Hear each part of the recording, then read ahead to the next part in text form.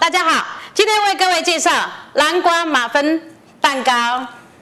那首先我介绍一下那个马芬蛋糕的材料，这是低筋面粉、糖粉、肉桂粉、蛋、奶油、南瓜泥、南瓜丁。好，那做法很简单，首先呢，我们把所有的粉类，低筋面粉、糖粉，还有。肉桂粉，那我们把它加在一起，放在一起，然后一起过筛。那接下来呢，我们把奶油放进来。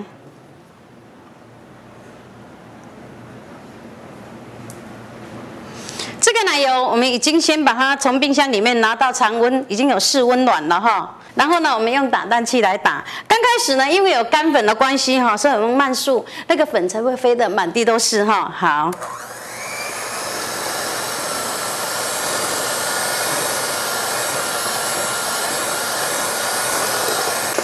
好，那我现在呢，奶油已经呢跟粉呢已经混在一起了，很均匀了。这个时候呢，把我们的蛋还有南瓜泥一起加进来。记得先把奶油奶油打散了以后再加哦。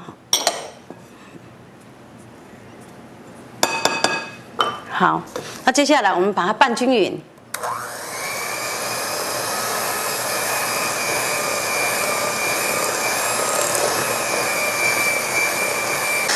好，各位朋友，大家可以看得到，我现在呢搅拌机这样打过去，纹路很深，而且呢体积也长大了一些了哈。而且呢，整个面糊也变得比较白了，表示呢已经有包了不少的空气进去喽。好，那我把它切掉。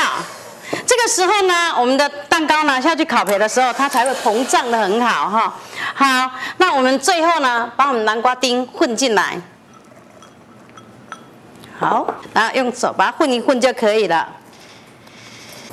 好了，那接下来呢，我用那个挤花袋来把这个面糊呢挤到那个杯子上来。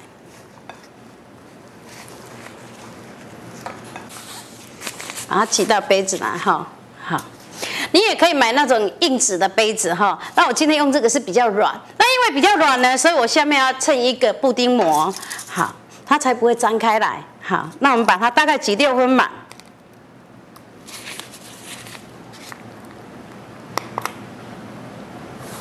那我现在呢，把它挤到杯子里面，已经挤好了哈，大概六分满就好。然后我们就把它送到烤箱里面去烤，那用两百度烤，大概十五分钟左右就可以了。我们等一下回来。啊，各位朋友，我们的南瓜马芬呢已经好了，很香哦。那现在因为还热腾腾的哈，那我还是脱模，脱模让你看我的南瓜有多好吃，真的很棒。然后呢，你看我们这样撕下来。那在里面，哦，好烫，因为还好烫，你看还在冒烟。南瓜在里面，各位朋友，你看真的很香。然后呢，我们用南瓜泥来做，然后用南瓜丁，这样子吃得到它的香味，也吃得到它的那个颗粒，真的很棒。希望你会喜欢。